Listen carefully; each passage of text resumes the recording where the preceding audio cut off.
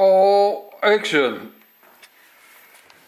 Vi er ved at uploade to nye spændende videoklip fra Monko TV's besøg på Monko Drones tæt danske testcenter.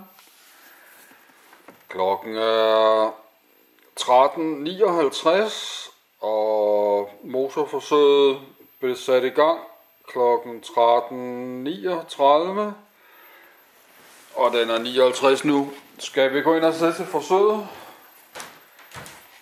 Og det er reporter John Olsen, Monko TV. Vi øh, skal på besøg på Monko Drones danske testcenter. Eller Monko Drones øh, testcenter. Og vi har fået lov til at følge... Nå, nu havde jeg mine grimme briller på alligevel. Vi har fået lyst lov til at følge dette fantastiske, spændende øh, forsøg med øh, et 600 skal vi passe på, at vi ikke rører testudstyr. Så tror vi rykker det ud til siden. Det er et øh, 650 mA batteri. Og teksten står på hovedet. Og den kører på minimum øh, omdrejninger.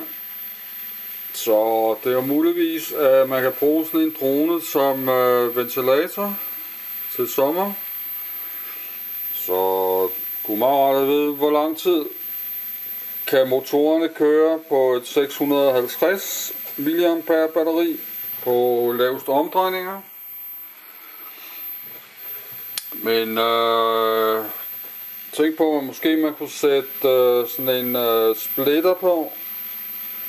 At øh, man kunne måske lade med sådan en powerbank bank batteriet øh, samtidig. Og man kan få de her powerbanks med øh, solceller på.